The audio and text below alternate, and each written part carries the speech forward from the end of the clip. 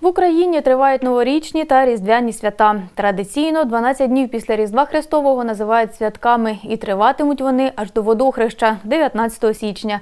У ніч з 13 на 14 січня відзначаємо старий новий рік. У народній традиції свята Маланки та Василя об'єдналися. Тож 13 січня відзначаємо Василів вечір, свято Маланки та Щедрий вечір. Господині готують ситні і багаті частування: ковбаси, свинину, вареники, холодець та млинці. Головною стравою на столі є щедра кутя. Після опівночі хлопчики та юнаки йдуть до хрещених і сусідів посівати оселю зерном та бажають щастя господарям. Вважається, що в день старого нового року в першому помешкання має зайти чоловік.